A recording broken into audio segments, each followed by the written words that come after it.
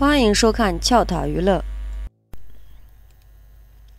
名媛望族是香港电视广播有限公司制作的民国电视剧，由庄伟健监制，刘松仁、陈玉莲、马国明、杨毅、吴卓羲、朱雨辰领衔主演。该剧以二十世纪三十年代洋汇聚的香港为背景，讲述了几个不同身份背景的女人。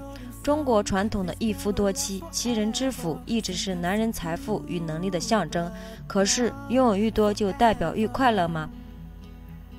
一夫三妻应付自如，大律师钟卓万、刘松仁是外表洋化，但思想传统，骨子里仍然重男轻女，享受一夫一夫多妻及奴婢制度，而为争取权利与命运抗争的故事，突破豪门剧俗套。原以为名媛望族是典型的豪门剧剧情，但剧情发展未落入豪门剧的纠巢，更多是将视觉放在上世纪三十年代的香港社会，聚焦在女权解放上，最终促成一九七一年香港法律废除一夫多妻制，这才是这部看似小格局的港剧中蕴藏的大主题。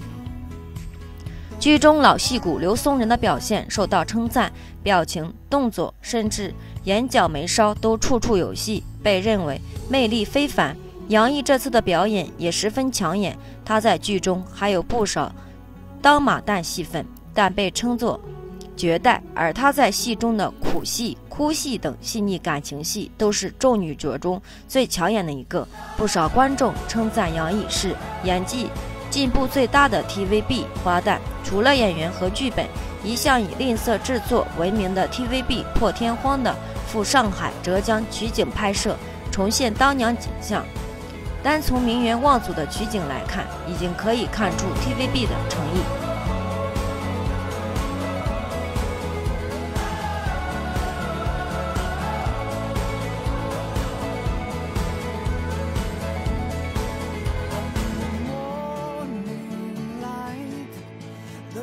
of dawn, a never-ending memory. Rays of the sun flow down echoing. cold wave. If you could change.